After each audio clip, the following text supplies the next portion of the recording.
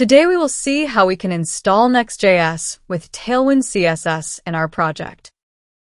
For the installation of Next.js, we have to run the command npx create next app at latest dot slash. This will ask us a couple of questions. We have to click on the default. We will say yes to TypeScript, ESLint, Tailwind CSS, source directory, and app router. We won't be using TurboPack and Alias, and we are done. Hit the enter button and let the packages install.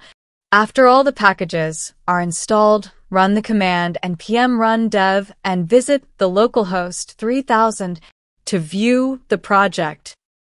And we have successfully installed the Next.js in our project.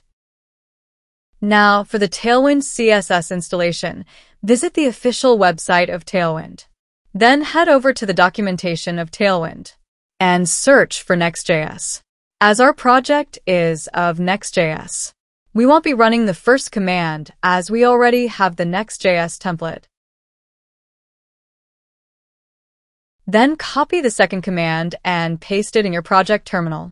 This will install all the required dependencies, including PostCSS.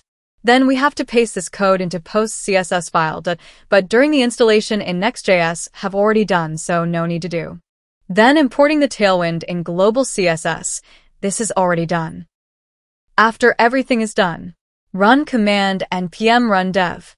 And we have completed the installation of Next.js with Tailwind CSS. If you like the video, do hit the like button and subscribe to Innovative Stack.